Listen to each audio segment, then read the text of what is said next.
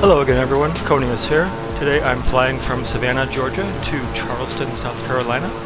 I'm flying a Beechcraft King Air 350i. I've set a flight level of 2,500 feet. Let's go ahead and get started. Take off the parking brake. And here we go.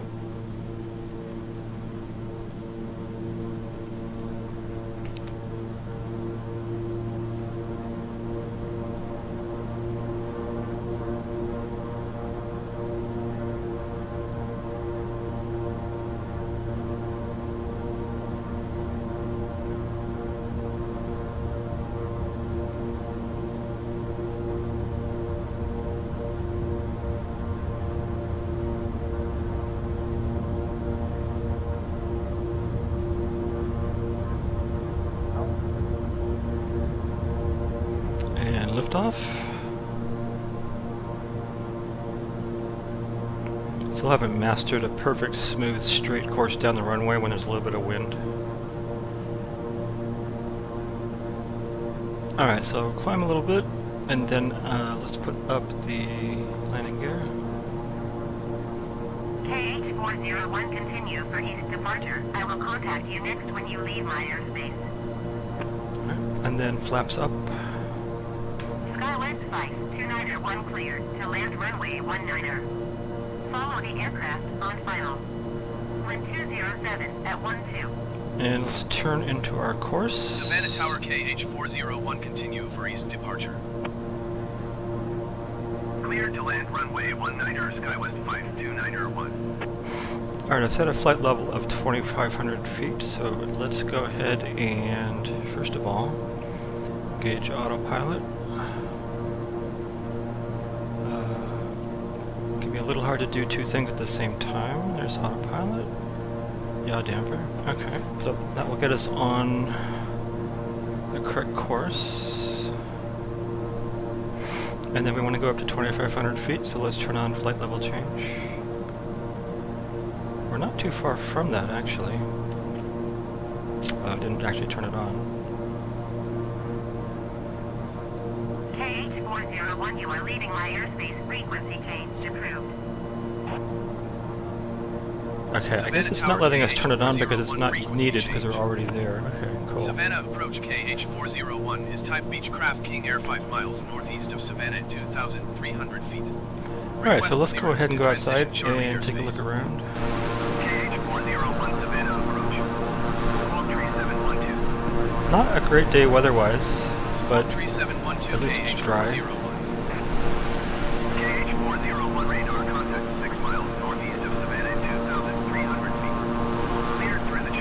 Kind of interesting off in the distance. There's some kind of sunlight peeking through, I guess, Cleared through over the. Charlie airspace KH401.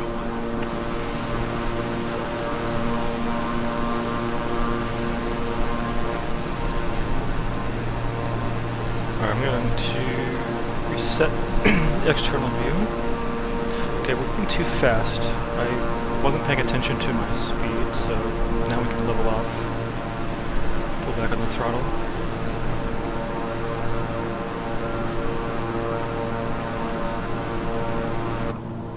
Checking on nav. I think we blew off course a little bit or something, but seems to be okay.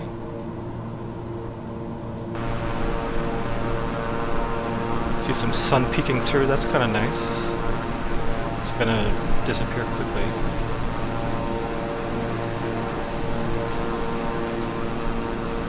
I kind of love that.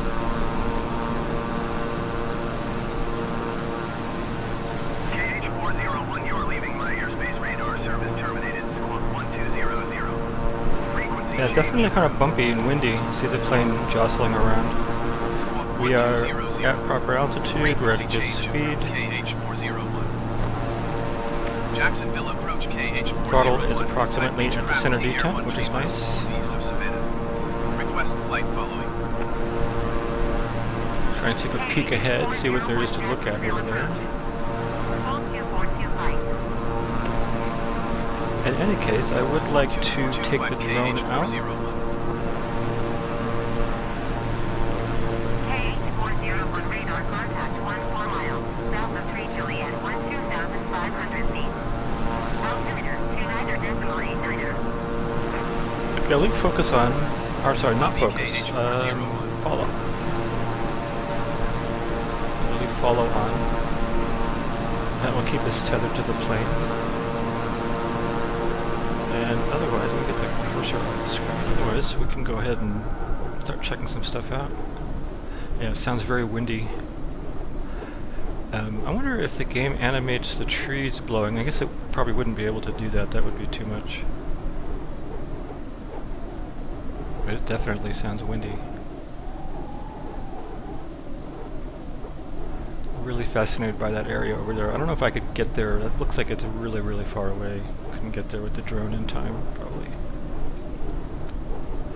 A couple spots off in the distance. Looks like it might be raining, or maybe it's just the sun peeking through.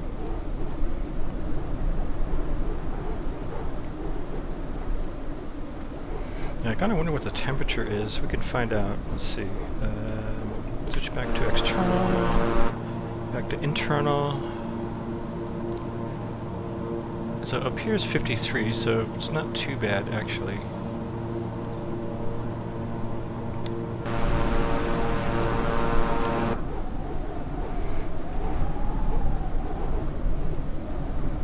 But yeah, the weather makes it a little hard to see anything. Maybe we can go above the clouds and see if there's a nice cloud field up there and some blue sky. Uh, it's hard to tell what your altitude is in the drone, but oh yeah, there we go. Wow. Is so pretty. I think I have the settings for clouds up to on ultra and it really looks like it. So Here's the plane, way down here, trekking along. All the dials up right. And then us up in the clouds, with our head up in the clouds, the sun. If I could make that kind of cinematic looking. Try a different pose. It's beautiful.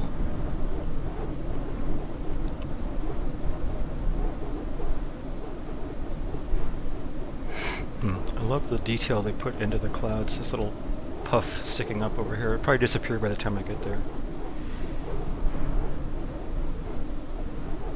Yeah, it's fading. That makes sense. That's what it would do in real life. Uh, you know, the this darkness in the clouds, I wonder if that's ambient occlusion. It makes sense it would be. Seems very realistic. Um, I don't think I've ever seen such dark gray clouds before in a game. Alright, let's go back and check on the plane. Speed is good. We're passing a airfield of some kind, over. Altitude's good. Everything seems to be fine. We're on course. Probably have another 15 minutes or less of flying to do.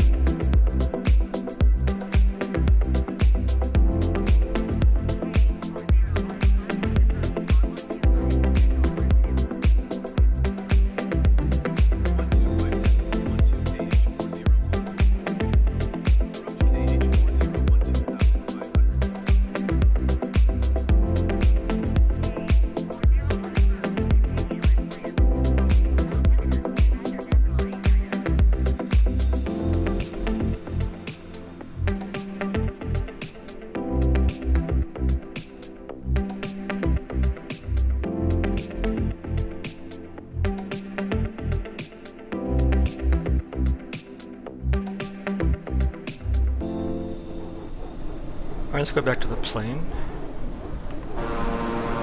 Well, the weather has gotten really bad down here. I'm going to reset the view. Go inside. Can't really see much. Uh, for realism's sake, though, I would like to stay in here and remain for the rest of the flight. I can uh, pop up and kind of look around a little bit.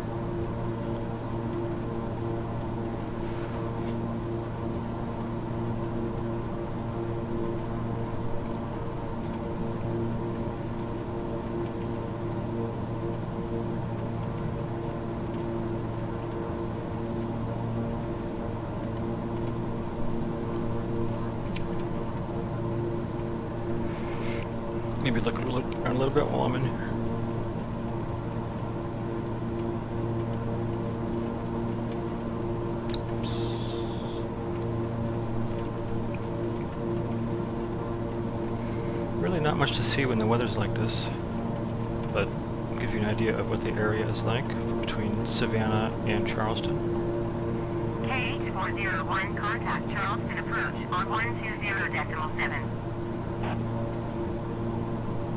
120.7 for KH401. Charleston approach KH401 2,500 feet. Okay, I'm going to take over from autopilot. Continue as planned. Altimeter 29.90. If I can get it to disengage, let's see.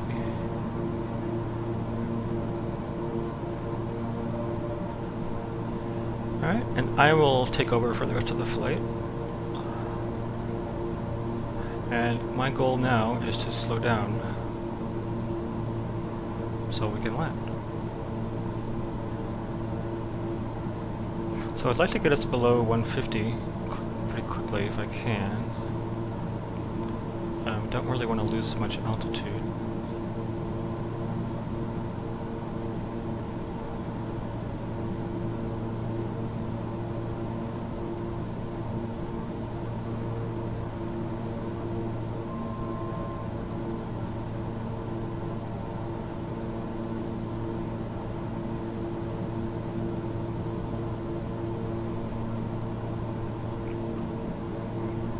Okay, we can afford to pull back on the throttle a bit more, try to get our speed down.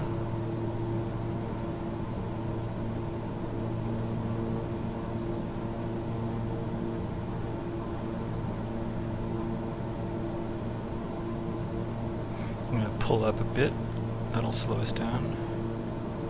Get a little bit of headroom for entering the landing pattern.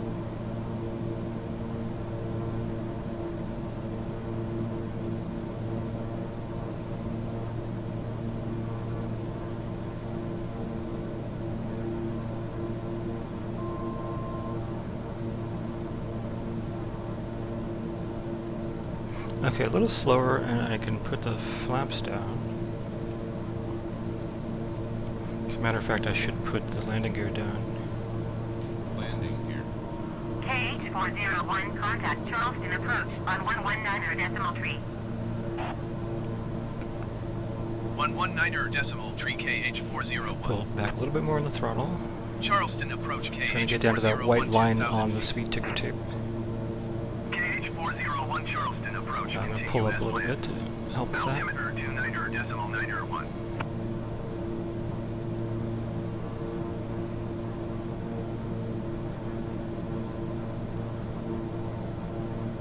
Okay, so we're in flap range. Let's go ahead and put the flaps down.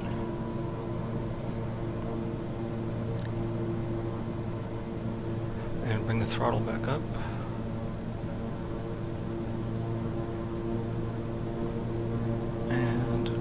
Going too much higher in altitude. So we want to kind of level off. Alright, got throttle at center. Uh, we're going a little slower than I would like typically at this point. Uh, if I level off, though, I think we'll speed up a bit. Maybe I'll just give it a, some extra throttle just in case. Not too much, like I just did. Alright, yeah, that feels better. Copilot is about to contact the airport and get landing clearance. Charleston approach KH401. Request clearance to transition Charlie airspace. Thank you. KH401 Charleston approach. Cleared through the Charlie airspace. Well, that's just the Cleared clearance through for the Charlie airspace airspace. KH401. Uh, in a minute, he'll contact them about the other. Charleston approach Brickyard Tree 523 is missed approach at Charleston. Tree 523, you are one mile southeast. Climb and maintain 2,000 feet. Expect 4 DME runway tree approach by current transition. Charleston Tower KH401 is 1 1 miles southwest with Sierra to land. KH 401 Charleston Tower. Make straight in runway tree. Altimeter 29er decimal 89er, wind 228 at tree 0. Just adjusted the barometer according to her instructions. there. Skywest 5, tree 3, 2 exit, runway when able. Fly straight in runway 3KH401. Alright, let's see where we gotta land. So, over here, this direction.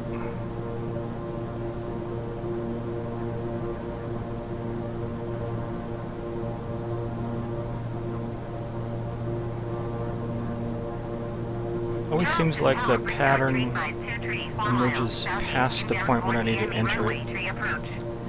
Um, I need to see if I can play with runway choice, and maybe I can pick one that makes a turn and makes it a little easier to enter it without passing up too much. Anyway, it's not a big deal to head over here and Skywest 5, tree 3, 2 exit, fold into the pattern. Somebody's stuck on the runway, I guess. I've definitely been there getting yelled at for being stuck on the runway by her. Alright, well, so this is feeling really good. Speed is good, Skywest 5, altitude's good. 3, 2 exit, runway flaps are down, landing gear's down, so all we have to do now is just get in there, slow down a bit more. I'm going to hug the right side, which I do to try to keep centered on the runway. Looks like maybe some rain off on the, in the back in the foreground, way off in the distance. I mean,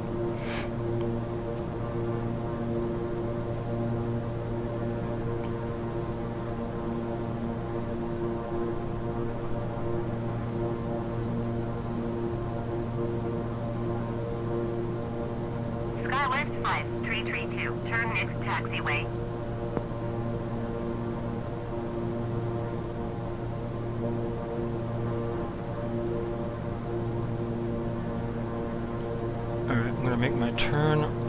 Other airplanes trying to land or taking off. We'll see, I guess. Continuing to have success with both hands on the stick during moments like this where you want the least amount of overcorrection. Skywest 5, tree 3, 2 exit, runway when able. Okay, I want to go forward a little bit more before I keep turning. Uh, give me a chance to better see where the landing pattern is heading. Charleston Tower, generic November 418 Echo Echo 4 miles, southwest inbound aboard DME runway tree approach. Generic November 418 Echo Echo, Charleston Tower. Cleared VOR DME, runway tree approach. Altimeter 29er decimal 89er, wind 228 at tree 0. I'm trying to turn sharply. I don't see the pattern anymore. Skywest 5, tree 3, 2 I don't know if we passed it. There it is. Okay, we did kind of pass it, but that's okay. I can get right back into it. tree approach, generic 8 Getting Echo Echo. some bumpy wind happening here. It's okay. The airplane's very sturdy. 401 cleared to land runway tree. Perfect. We have clearance to land. Let's uh, get into this pattern. runway tree KH401. Uh, I am going too fast. I'm going to drop the throttle for a moment here, and let's try to get the speed down.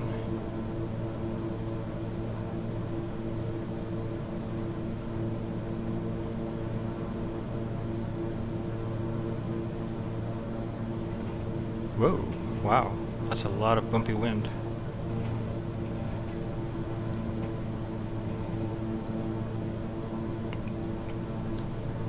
Don't think it's anything I'm doing wrong. I think it's just the wind, but it you know makes me wonder did I mess something up?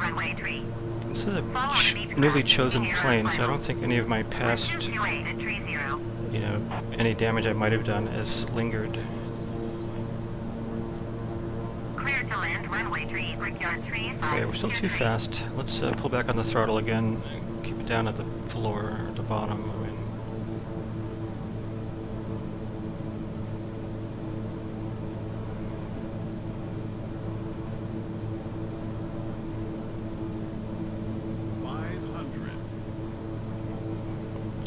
Feels like it's just very dicey wind, but I think, you know, I'm confident that we'll be okay.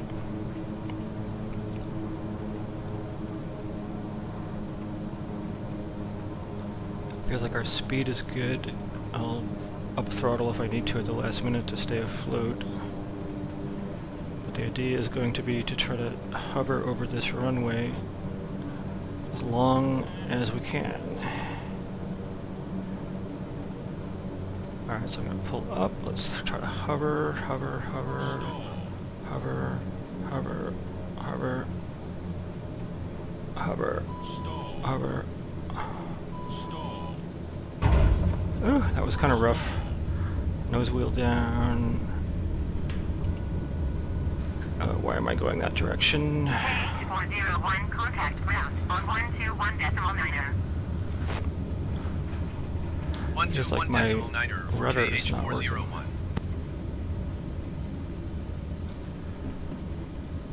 Okay, maybe because I was going too fast or it was wet ground or something. Yeah, that was kind of rough. Um, I think the plane was probably okay with it, but preferred would have preferred that to be a little smoother. Had a little bit of excess speed there at the end that I had trouble getting rid of.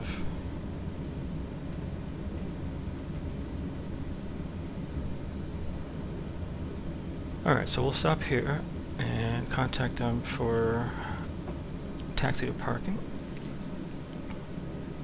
Brickyard 35, 2 tree exit, runway when able. Charleston ground KH four zero one taxi to parking. KH401 taxi to General Aviation Parking. Put the parking via brake on, that's why it's taxiway beeping. Runway 3 Golf Charlie. Taxiing to General Aviation Parking via it taxiway Golf, 2 cross warning runway here 3 Golf something? Charlie KH four zero one.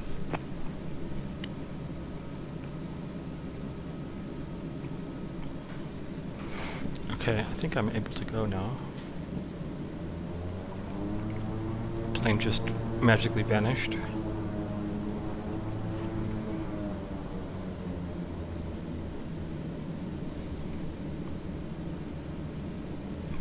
I had a couple of rough flights last weekend. I didn't realize how I'd kind of become sort of muddle-headed.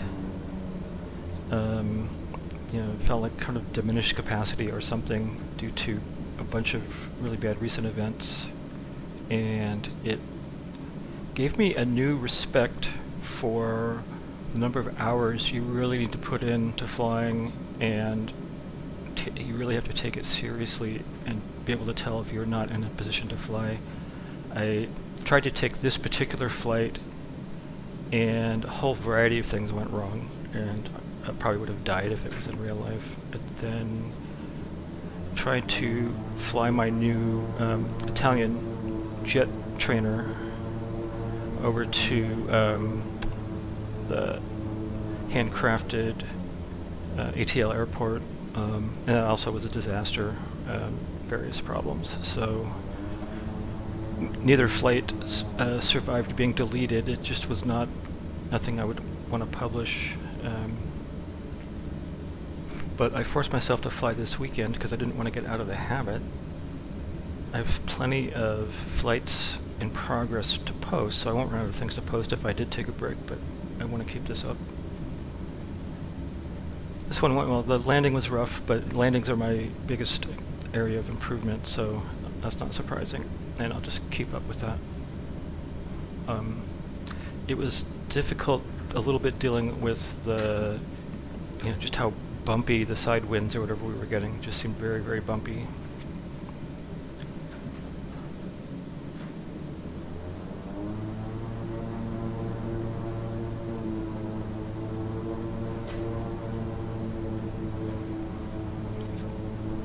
Taxing and steering and all that is kind of becoming um, second nature.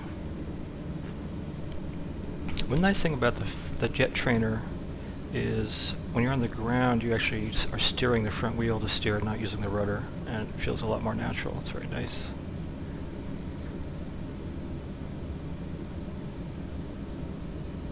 One thing I've run into on the jet that I haven't run into in any other case is running out of fuel. I mean, I guess that thing makes sense. It would burn fuel like crazy, but I'll, you know, suddenly find the engine's shut off and I'm wondering why, and I look and I see I have 0% fuel left. So I'm going to have to keep that in mind, and when I apply that thing, fill it up to 100%. I would rather not turn on unlimited fuel because I'm trying to keep up the idea of making it realistic um, know, but I assume if I was going cross country that I could easily land somewhere and then request fuel and keep going, so that wouldn't be a problem for a cross country trip.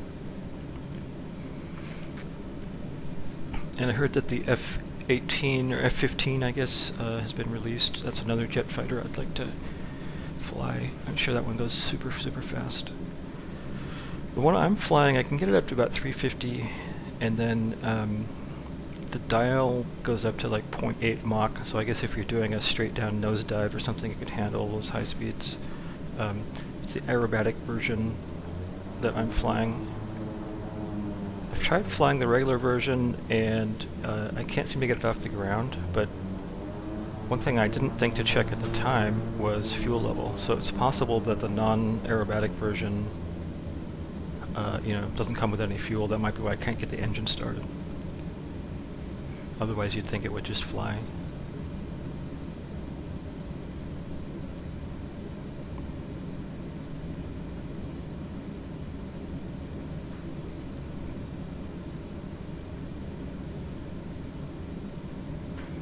So not a great day here in Charleston. It's around 60 degrees. The local time is a little after 3 in the afternoon. Uh, so at least it's dry. You could actually, you know, have lunch outside.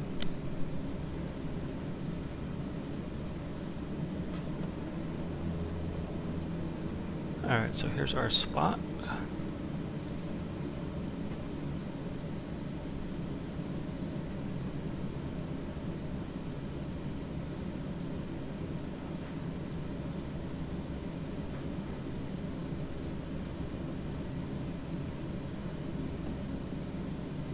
Alright, I think I'm good to park here. Parking brake on. Engines off. Let them go through their cooldown cycle.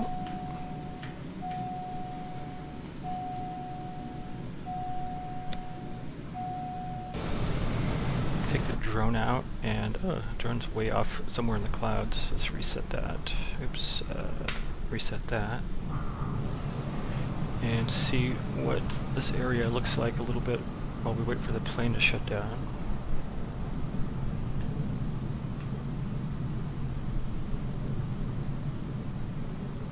Alright, well it looks like just a default airport. It's probably not going to see very much. Um, I don't know, actually it looks kind of nice.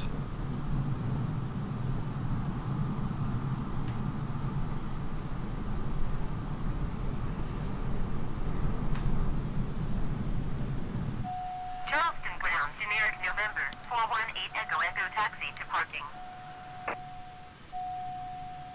Generic November, Okay, toggle that, Echo Echo and let's to general aviation parking turn off the plane, which I think is there. Yep, there it is. Thank you so much for watching. Don't forget to share, like, and subscribe. And I will see you in the next video.